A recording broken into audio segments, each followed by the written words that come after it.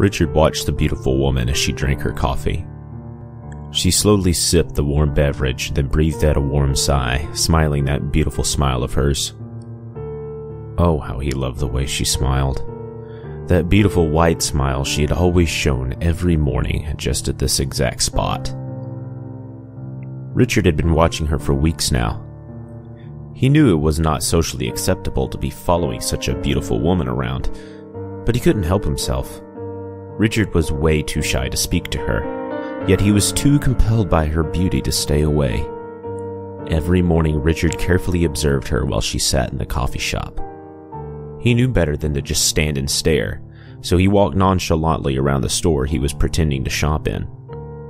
Across the street, he could see her sitting by the window at the exact same seat that she always sat in.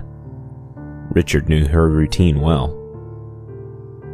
She was drinking her usual coffee, a vanilla cream latte.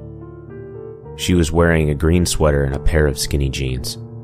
She had a small black beanie that was gently covering the flowing waterfall of dark brown hair that gracefully fell down her shoulders.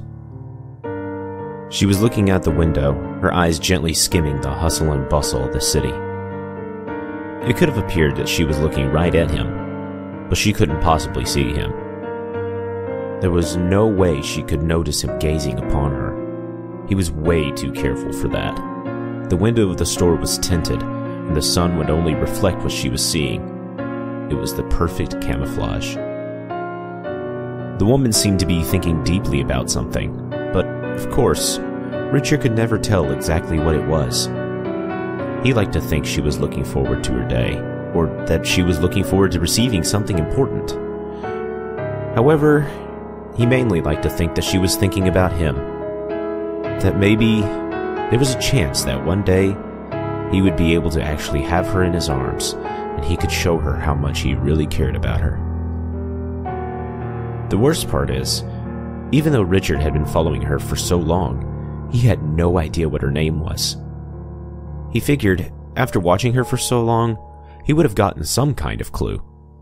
Though all of his efforts to find her name were fruitless, he didn't let that stop him.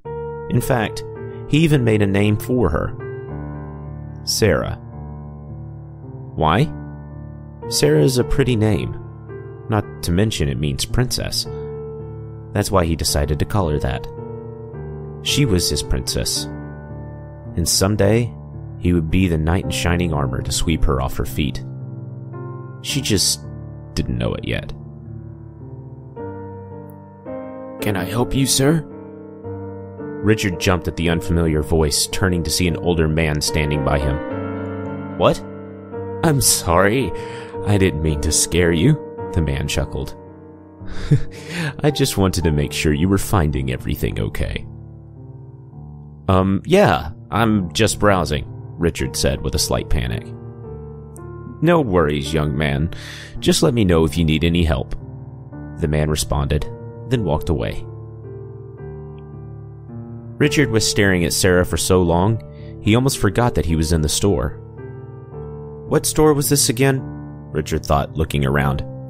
Dusty books, tables, lamps. The antique store. I remember now. After pretending to browse the price tag on a lamp and a bedside table, he watched Sarah finish her coffee and walk to her car. He watched her climb into her green Honda Accord and drive down the road. After he saw her drive away, he started to count. Ten, nine, eight. He Seven, knew her so well, six, he knew when to leave, when to return, and even where to go. Four, three. After Richard had two, finished counting, he knew it was one. safe to leave. She didn't leave any personal items on her table, so there was no way she was coming back. He was safe to leave without her even noticing he was only a short distance behind her. Richard gave a gentle wave to the shopkeeper and walked out of the door. He walked around the back of the store through an alley to the other side of the street. He knew she would have noticed his car if he parked outside every day. Richard grinned at his sagacity as he opened up the door to his pickup and drove off. Time was exactly the same as it always was, every day when he left this spot. 7:25 a.m. Time to go to work. He slowly followed the same trail, every day, making his way to the law firm she worked at, Brunswick and Murdoch. By 7:59, Richard had parked his truck outside, set a pair of binoculars on the dash, and waited for her silhouette to appear in the window. Three, two, one. Sarah appeared in the window and she drew back the curtains like clockwork. She was very punctual, just like Richard. That was something that made Richard fall for her even more. She wasn't like the other ones. Oh, no, not at all. The other women he had seen were too messy, too slow, or too fast. They were always too early or too late. None of them were on time.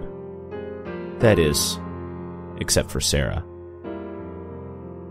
When Richard first started his search for women, he tried to see past the flaws and mistakes, but it always led to the same ending. No, please, stop it! Leave me alone, you freak! If they didn't want him, no one would have them. You may think that is unfair, but it really isn't. Think about all the pretty, happy couples you see all the time. There's too many of them always making everyone else's lives dull and lonely in comparison to their perfect relationship. They all had someone. Everyone did. Everyone. Except Richard. How come they deserve happiness? Doesn't he deserve to be happy? So Richard figured he would find the one perfect for him, all on his own. All he had to do was, well, narrow down his search. Richard watched Sarah sitting at her desk on the opposite side of the window. She played with her hair as she spoke to people on the phone. Who she was talking to, Richard could only speculate, but he tried to imagine the conversation. Sometimes the conversation was about the weather, other times it was about the coffee she had that morning. On some occasions, he would imagine that she was talking about him. Oh my gosh, I saw this gorgeous guy at the coffee shop! However, he always had a feeling it wasn't about him. She didn't even know he existed. At least, not yet.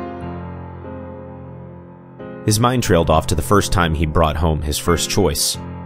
Her name was Samantha. She was a pretty blonde girl. She was normally late to work and always came up with some sort of excuse. That, of course, was a turnoff for Richard. However, he tried to give her a chance. He abducted her from her bed one night after she had a long night at the bar. She was so drunk she never even noticed she left the house. Richard took her to his basement, lit some candles, and waited for her to wake up. While she was sleeping, he told her about how he followed her, knew everything about her, and wanted her to know everything about him. He told her about how pretty she was, and how he would be able to help her be more punctual so she wouldn't be late for work again. Richard tried to be romantic. He really did. But when she woke up, she only screamed. She cried for help, screamed for someone to save her from this freak. The noise was dreadful, and Richard couldn't stand it. So he did the only thing he knew that would shut her up. He grabbed her throat and squeezed as hard as he could. After a loud snap, she stopped screaming. It was Richard's first time. He had hoped that she would have been more understanding that he would be nervous. But he was wrong. So he buried her in the woods behind his house. He thought he would be upset, knowing that she was gone forever. However, for whatever the reason, he was happy she was dead. Why would he have fallen for such an ugly thing like her? She was pretty on the outside, but inside, she was disgusting. She was full of hate, lust, envy, sloth. It was only after she was dead that he had finally realized that. He did everyone a favor by killing her. That was when Richard decided that blondes were not his type. Richard looked through his binoculars again and saw that Sarah was getting ready to go on her lunch break. Could so much time have gone by so fast? He checked his watch, seeing that indeed it was 1225. She would be leaving the parking lot in exactly five minutes. Richard smiled. He loved how watching her made time just seem to fade away. Sarah gave him a sense of belonging, a sense of perfection placed into one beautiful creature. He felt a lump in his throat, knowing that soon, very soon, he would be taking her home. He would see if she truly was the one that he was looking for. 12:30. Sarah was in her car and drove out of the parking lot to get some food at her favorite restaurant. He waited his usual 10 seconds before leaving, then followed her. She went through the drive-through as usual and even got the same meal she always got. One grilled chicken Caesar salad with a cup of water. Not only was she very healthy, but she knew how to save money too. Richard knew this well. He saw her eat at this restaurant for quite some time. After this, she would head to the nearby park to eat her lunch. If it was raining, she would eat in her car. Of course, if she ate in her car, she was very particular to clean up after herself. She was very meticulous to make sure that she was clean. She was a lot like Richard. All the more reason that maybe, just maybe, she would understand him. Sure, Richard didn't always eat healthy, but he knew how to save money on food, that's for sure. This made Richard remember the second choice he made. Her name was Amy. She had fiery red hair and was punctual, of course. However, she was too punctual. She was always two minutes early for work, for class, for bed, for everything. Again, he tried to look past it and took her home anyway. When he got her home, she was a bit smarter than Samantha was. She tried to deceive him and make him think that she was really falling for him. After Richard had untied her, she tried to attack him. She grabbed a knife that she had hidden in her back pocket. Why would she do that to poor Richard? All he wanted to do was tell her that he loved her. Amy cut his face and part of his arm, left a dirty scar on him, but with a hard smack, he knocked her knife and her to the ground. Richard thought about crushing her throat the same way he did to Samantha. But Amy attacked him. He wanted her to feel the same way that he did when she attacked him. He took the knife and plunged it into her. Richard counted 15 times before she finally stopped screaming. Afterward, Richard realized he kind of enjoyed stabbing. At least now Samantha won't be lonely anymore, Richard thought as he buried Amy next to her. Maybe brunettes are nicer. 1:30 p.m. She was back at work, making her usual phone calls and Richard was back in the parking lot. It wouldn't be much longer before she goes home. Richard shook with anticipation as time started to tick by. 2:30, 3:30, 4:30. It wouldn't be much longer until it was time to invite her over. Of course, Samantha and Amy weren't the only ones that Richard had over. He also had Rebecca, Ashley, and Hannah. All three of them were brunettes, and he knew they weren't the best choices. He knew that he was on the right track, though. Each one had brown hair that was prettier than the last.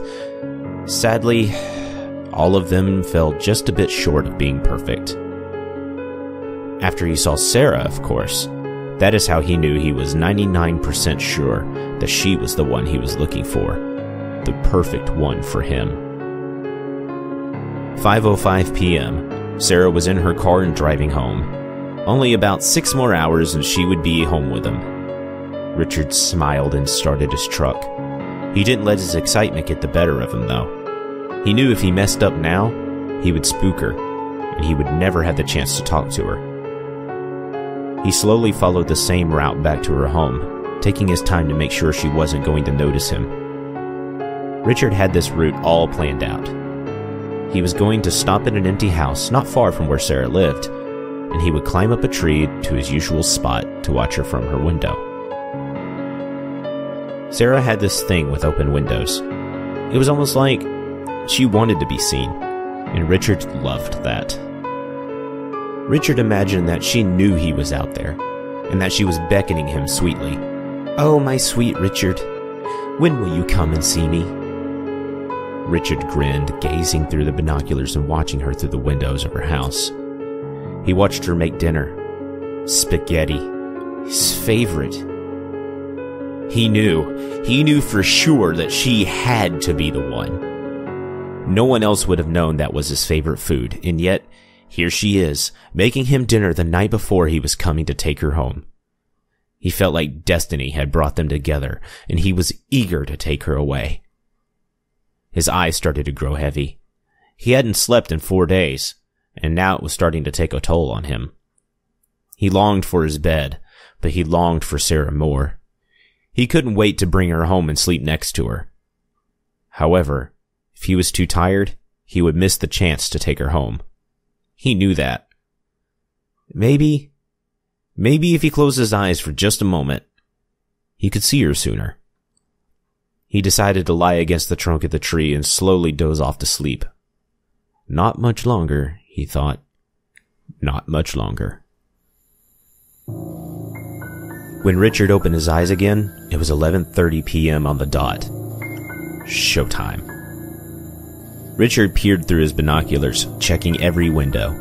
The lights were out, there was no movement, and all was still. This neighborhood was fairly quiet at night, so he knew no one would see him sneaking into her house. He slowly climbed down from the tree, checked to see if anyone else could be watching, then carefully made his way across the front lawn to the door. Normally, Richard would have taken the back door, but it was stuck closed. The one in the garage was blocked with boxes, so that left Richard with only one entrance the front door. After carefully climbing the stairs of her porch, he noticed that something was amiss. The front door wasn't closed all the way. This was kind of unsettling for Richard. After all, if she was as careful as he was, she would have noticed that the door was ajar. Right? Richard felt a knot grow in his stomach as he slowly opened the door. Pictures were shattered on the floor. Some of the furniture was knocked over, and one of the end tables was broken in half. Did someone break in? Richard felt panic arise in his gut. Something was very, very wrong. Did someone hurt Sarah? Is she okay? Richard's breath quickened as he entered the living room, following the carnage to the stairs. It looked like there were spots of liquid on the floor. Blood? Richard couldn't tell. It was too dark to see. Richard almost wanted to run away before something else went wrong. But he had to know. He had to know if Sarah was okay. He quickly ran up the stairs, following the trail of liquid across the floor. The trail ended at a door he couldn't see from the outside, a room he had never seen before. He hesitated before grabbing the doorknob, but with a quick breath, he drew open the door. Darkness.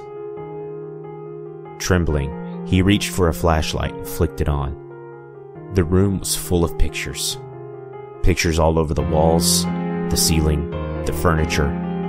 The room was covered with them However, that's not what caused Richard to become filled with dread and terror. All the pictures were of him.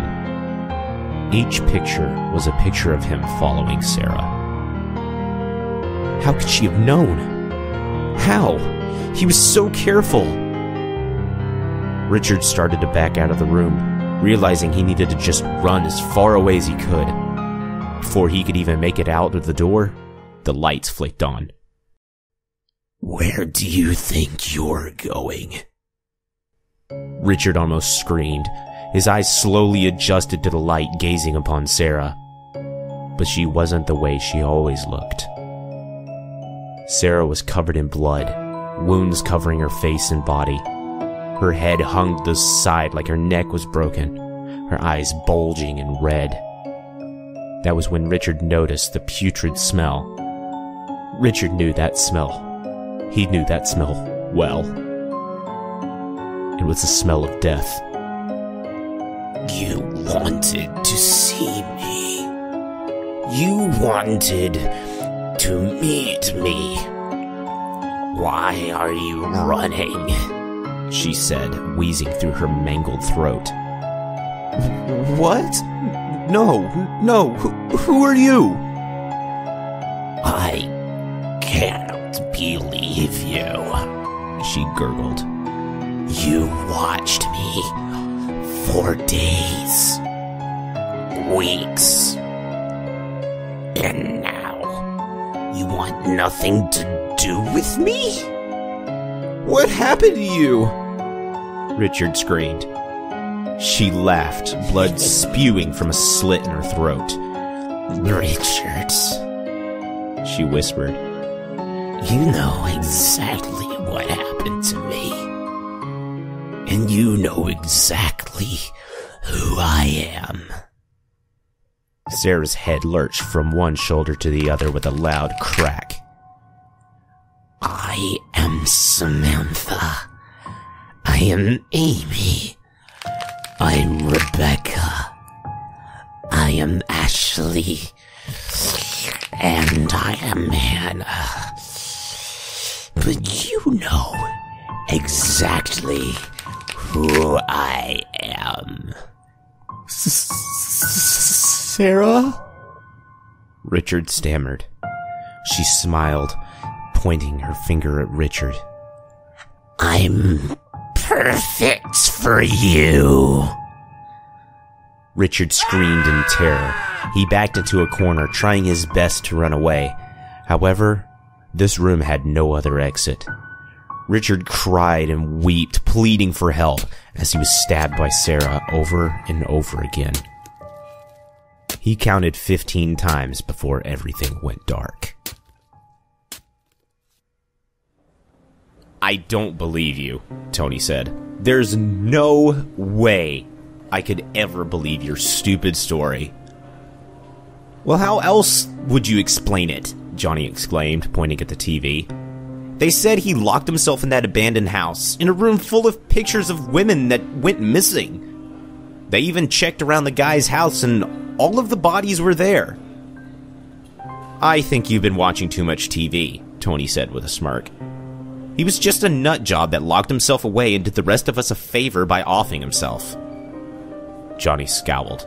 You just don't like the fact that I can tell a more interesting and convincing story than you can. Tony snorted. Yeah, yeah, entertaining, sure, but whatever.